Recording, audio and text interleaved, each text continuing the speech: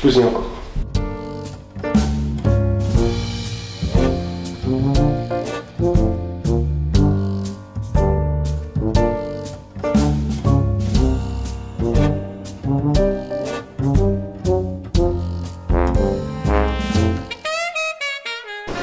No, Dominik dneska chtěl uvařit těstoviny se sírovou omáčkou a kuřecím masem.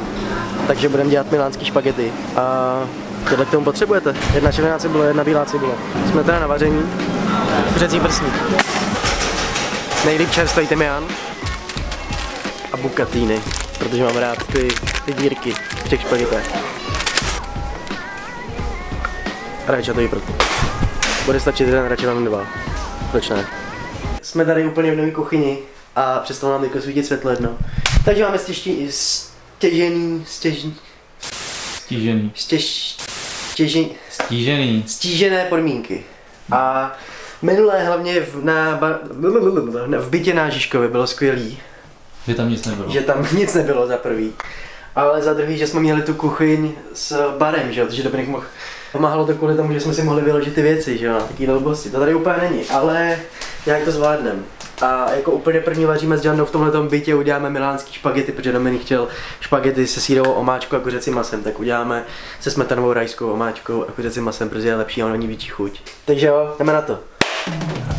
Jako úplně první si nakrájíme bílou a červenou cibuli. Bílou a červenou cibuli si nakrájíme na hodně, hodně jemný kousíčky.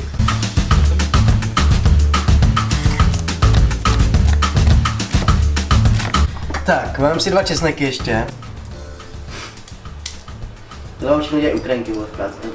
Vy jste věděli lidi, ty vole, jak moc práce je v kuchařský show do píči. Když ji děláte s někým, tak je to úplně v klidu, ale když ji děláte sami, jak je to strašné. Konečně máme jako ten tripod, aspoň koupili jsme si nový tripod, jestli jste neviděli, jak jsme koupili nový tripod, tak se koukněte na tuhle epizodu, která byla natáčena dneska taky. A tohle to bylo taky jen tak jako vložený do toho. Každopádně nakrájíme si česnek. Tohle vlastně děláme základ na tu omáčku. Děláme základ na tu omáčku, kdy se ta cibulka s tím česnekem, trošku tymiánu se tam hodí a udělá to pořád, pořádně ji zesklovatíme, skoro zhnědne ta cibule a bude to pěkný základ. Pak tam zarestujeme to kuřecí maso, zarestujeme tam ten rajčatový porotlek a zjemníme smetanou. Uvaříme špagety a bude to úplně ty nejlepší špagety, které jste si v životě udělali, protože jste líný prasata a děláte si špagety po první životě. Je to tak? První, co uděláme, je, že si hodíme vodu na špagety, protože to je největší osy na prdeli. Osolíme ji pořád, pořádně. Jo, jo. Je vidět, že to neděláš poprvé. aby si ty špagety nelepily na sebe. Což já nevím, jestli tyhle věci každý ví, nebo jestli to se má, je mám říkat. Mně to přijde tohle, jak kdybych říkal někomu nedávej železný talíř do mikrovlnky. Ale nevím, prostě do vody, do špagety se dává sůl a olej, aby se nelepily a byly ochuceny trošku. Mezi tím, co se začne, co se bude vařit voda,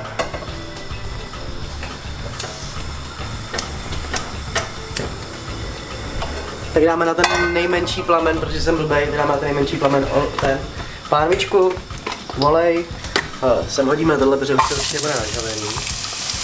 Mezi tím si uklidíme ty lističky, které jsme teďko použili. Ano, budu to opakovat pořád, jak říká moje maminka, uklid to teďko, později se ti nebude chtít. Co když se mi nechce ani teďka? To mě se nikdy nechce vole.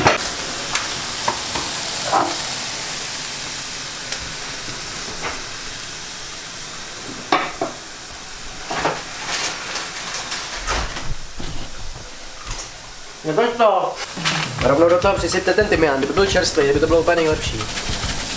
Hodit tam prostě tři, čtyři větvičky toho tymiánu a nechat to s tím restovat.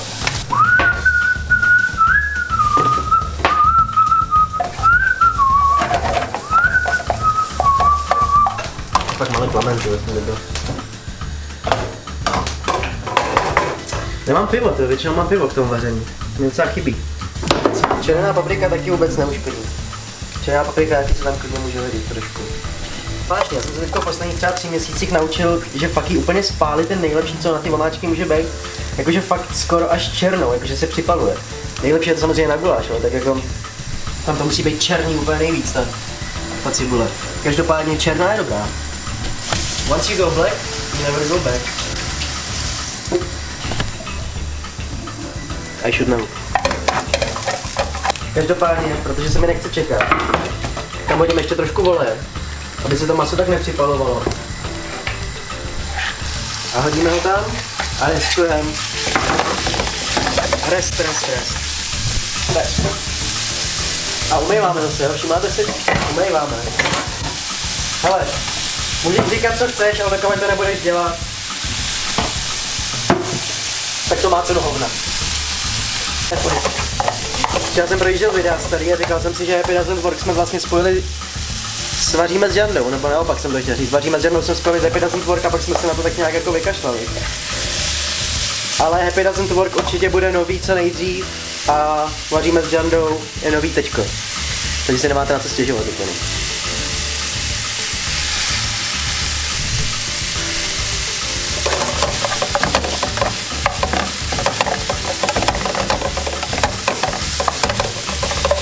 Každopádně nejlepší by bylo nechat úplně to maso odestovat, pak tam hodit trošku vývaru, aby to jako hodilo tu chuť a pak tam teprve hodit tu rajskou a pak tam teprve hodit tu smetanu. Ale my to budeme dělat trošku alternativně, jako už to tady chodí na tom kanále. A jestli si pořád myslíte někdo, že vaříme s Jandou je o vaření, ty vole, tak jste kreténi. Tak. Je to trošku orestovaný, teď tam hodíme ten rajský a zarestujeme ho.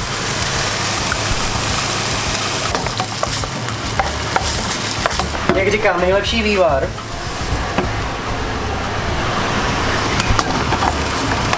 A zjemníme smetanou.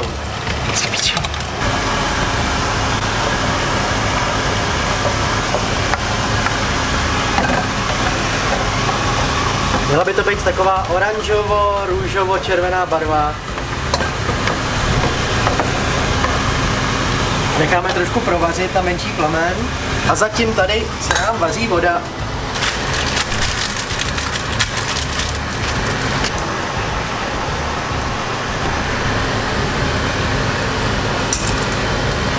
A není špatný nápad nikdy dát tam trošku cukru, jestli ho máme.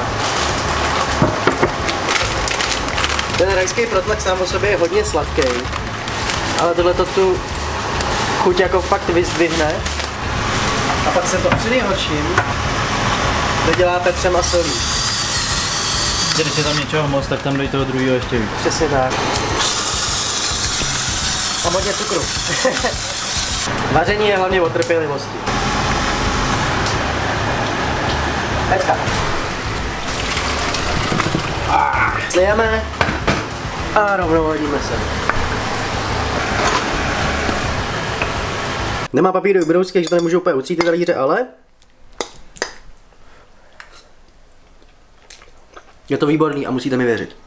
Tímhle tím ukončuju, vaříme s Žandou Volube 12, mám pocit, milánský špagety, rychle to sjedem. Základ, cibulka, česnek, hodíš tam, hodíš tam odestovat maso, tymián, rajský protlak, trošku vývaru, zjemnit smetanou a máš to hotový, vole, uvařit špagety, hoď se to do toho zamíchej a, a jedeš. Italiána, vole. Každou holku zaujme. Věřme. Slyšel jste tady první. Vaříme s Jandou. Čus.